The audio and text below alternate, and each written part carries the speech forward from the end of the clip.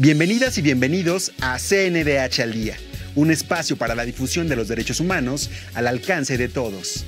Vamos con la información.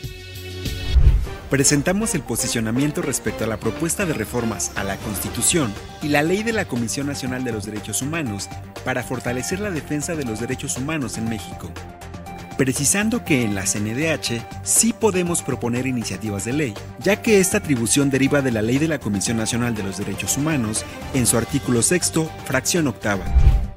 Participamos en la mesa de trabajo, los desafíos para el acceso a la información pública y los derechos arco de las personas privadas de la libertad a la luz de la justicia abierta, en coordinación con el INAI y de organizaciones civiles.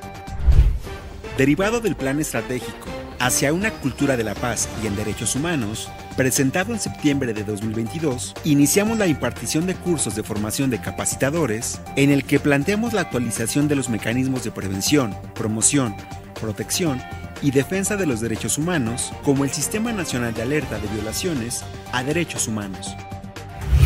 Gracias por acompañarnos en una emisión más y recuerda seguirnos en nuestras redes sociales. En la Comisión Nacional de los Derechos Humanos defendemos al pueblo.